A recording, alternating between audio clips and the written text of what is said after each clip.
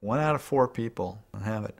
It's either the person in front of me, person beside me, or the person behind me. Steve Pilling struggles with reading and writing.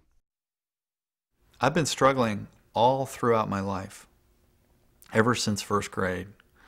Um, the the biggest thing happened um, when um, you know I I was finding out that I really couldn't do my job the way I should be doing it. I was almost apologetic. I was like, well, you know, I, I do this and I'm pretty successful at that, but I really don't know how to spell and read all that well, and it causes a lot of problems in my life. I'd hide my glasses.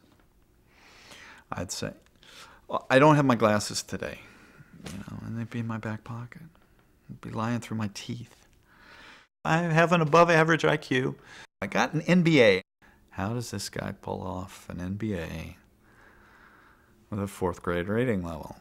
Just the other day, I got uh, a double certificate in special ed and um, uh, regular ed- education. I often want to go back to my college counselor that uh, that told me I should go into the military. And see this degree? See this degree? See this degree?